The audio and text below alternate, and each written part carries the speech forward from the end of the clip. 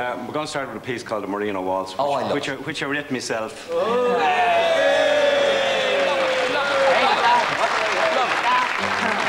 Right. And uh, I'll have to play this one especially for my mammy, the lady in red over there. Right over there, yes. Uh, Lady in red.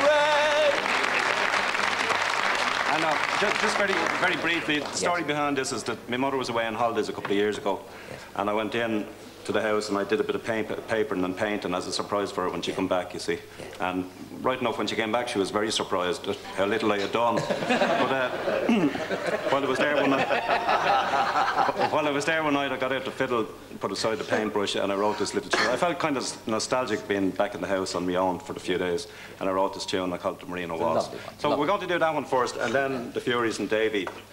We're, we're going to play a, a few jigs, I think, after that. Right? Okay. So we start with the Marino. Off you go. Thank you.